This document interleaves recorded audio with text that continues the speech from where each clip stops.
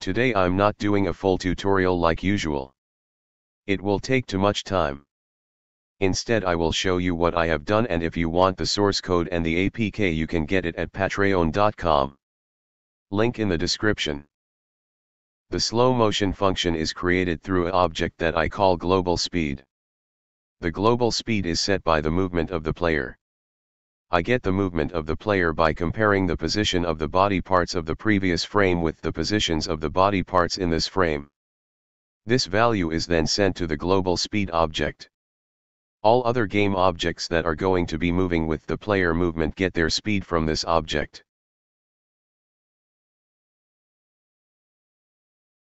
Here is the enemy that runs and shoots. He calls the global speed object at every frame to get the current global speed.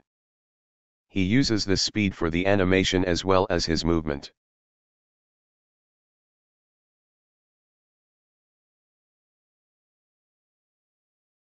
Thank you for watching. Please like and subscribe for more VR tutorials.